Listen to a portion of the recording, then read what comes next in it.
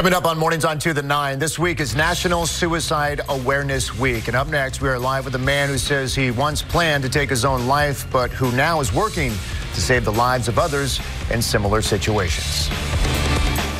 This week is National Suicide Awareness Week. And all week long, we will be speaking with people who have contemplated suicide and who are now working to help people in similar situations. 17 years ago, Dr. Dain Heer says he had everything going for him but he still felt that it just wasn't enough. So he set a date to take his own life.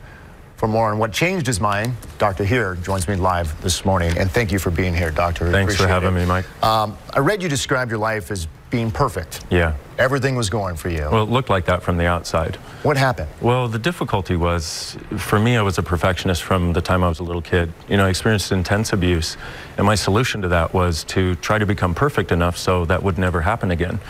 Fast forward 18 years later, I'm a chiropractor in Santa Barbara. I have a beautiful girlfriend. From the outside, my life looks perfect, but I didn't see any way of creating that future, that perfect future that I was looking for. And so I was depressed, unhappy, and suicidal for three years. Did your girlfriend, did anyone around you, friends, know you were going through this? No, and this and this is the thing about it is if I had told anybody, it would have messed up my perfect image. So I was trapped in this cycle of self-judgment but not being able to get any help and not being able to have a different possibility by telling someone.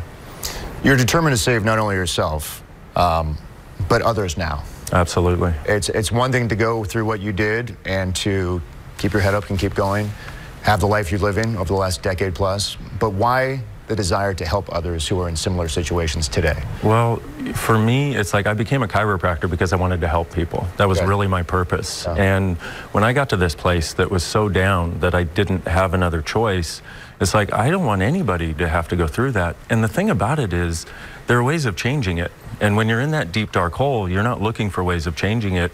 And so I want to tell my story and the stories of others so that people can recognize there is hope, there is possibility. So, what was it for you that got you off that path? Well, I literally, after being depressed for three years nonstop, I finally had given up hope, set a date for my suicide. Of course, it was going to be perfect, right. you know. And I saw, and I said, six, you know, I give the universe six months to change things, basically.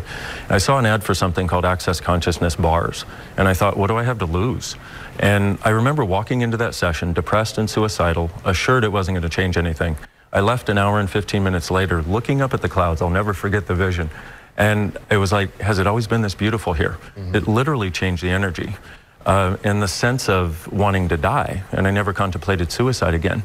And I'm not saying that's the answer for anybody or everybody. The reason I bring it up is because I would like people to know there are possibilities for changing this. How old were you?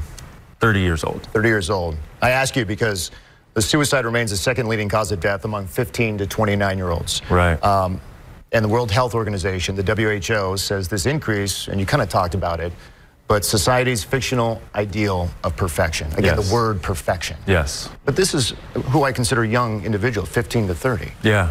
And but my sense is they're trying to do what they're told is perfect. They're and but the difficulty is it sets up this cycle of self-judgment. For anything that you do that's not perfect, now you're wrong, and you also can't say anything about it, otherwise you're not seen as perfect. And the other thing I see with the 15 to 29 year olds mm-hmm. is, you know, for a long time we looked and we saw a bright, glorious possible future. And I see a lot of people looking at the future going, it doesn't look so good anymore, and they want to get out. But we have to be part of creating a greater future if it's going to happen. So let me ask you this How does one go from not wanting to reach out to wanting to reach out? Well, I think. Had the number one. Well, I would say recognize that there is a possibility for change. It look back to some time in your life where life was worth living.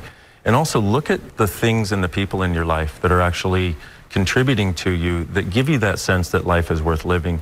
Reach out to them. And the thing is, you know, we have we have suicide hotlines. We have you know, we have so many tools available.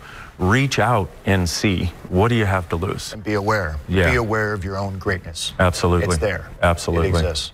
Doctor, I, appreciate your time. Thank Thanks you very so much. much. for coming in. Dr. Dain Heer. Uh, we have put more information up about uh, Dr. Heer for you on our website at ktvu.com. Look for it in the web link section under the Mornings on 2 tab. You can also find it, of course, on the KTVU mobile app. And if you or someone you know needs someone to talk to in for some advice here on the National Suicide Lifeline.